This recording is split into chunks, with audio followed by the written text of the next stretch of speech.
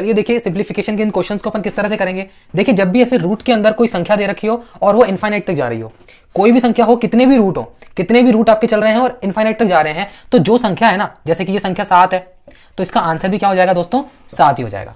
ठीक है? लेकिन देखिए इन्फाइनाइट तक चल रही थी, तब वाली बात थी। लेकिन अगर सीरीज़ इस तरह से ब्रेक हो जाए और यहीं पे इसका आंसर पूछे, जैसे कोई भी संख्या है, पाँच पाँच पाँच रूट लगे हुए हैं और आपसे आंसर पूछ रहा है तो देखिए कुछ भी नहीं है, आपको पाँच तो रहेगा ही आंसर के अंदर।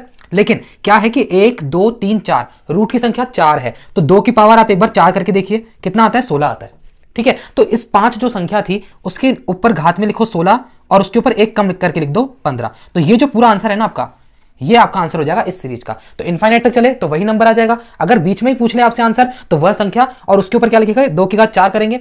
चार मतलब कितने रूट है? एक, दो, तीन, चार। दो के बाद चार। सोलह तो सोलह और ऊपर एक संख्या कम। इस तरह के मज़ेदार वीडियोस के लिए आप इस चैनल को सब्सक्राइब कर लीजिए। वीडियो अच्छा लगा हो तो लाइक करके शेयर कर दीजिए। Thank you so much